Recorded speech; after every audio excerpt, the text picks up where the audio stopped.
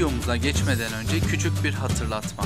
Videomuzu beğenmeyi, yorum yapmayı ve abone olmayı unutmayın. İyi seyirler. Evinde beslediği papağanla resmen işkence eden Masterchef Murat'la ilgili Acun Ilıcalı'dan açıklama geldi. Ünlü yapımcı, sunucu ve TV8'in patronu Acun Ilıcalı, kızı Melisa ile Etiler Akmerkez'de görüntülendi. Acun Ilıcalı geçen gün papağanla uyguladığı işkenceyi sosyal medya hesabından paylaşan Murat Özdemir hakkında konuştu.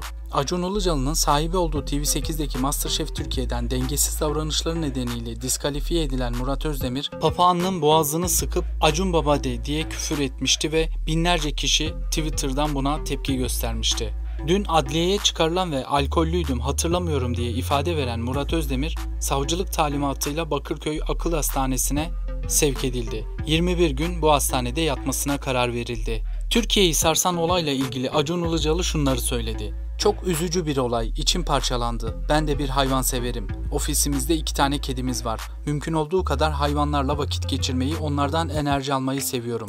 Konuyu benimle bağlamaya çalışanlar var. Biraz bana anlamsız geliyor. Nasıl bugün herhangi bir TV kanalındaki yarışmada ya da bir dizide yaşanan bir skandal olduğu zaman kanalın sahibi gündeme getirilmiyorsa benim gündeme getirilmemi şaşkınlıkla karşılıyorum. Burada tabii ki belli bir kesim tepkiler gösterebilir. Saygı duyuyorum ama bana anlamsız geliyor.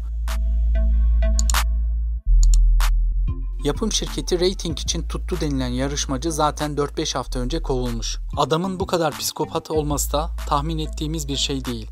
Herhalde 3-4 bin yarışmacı vardır yarışmalarımızda. Buradan çıkan psikopat sayısı 2'dir, 3'tür. Öte yandan Murat Özdemir'in beni Survivor'a almadılar, ondan bunalıma girdim açıklamasına Acun Ilıcalı, Survivor'a katılması hiçbir zaman konu olmadı. O da saçma sapan bir dedikodu. Biz dedikodularla ve söylentilerle yaşamaya alıştık. Ama şunu iyi bilsinler, biz hiçbir zaman reytingi bazı değerler önünde tutmadık şeklinde cevap verdi.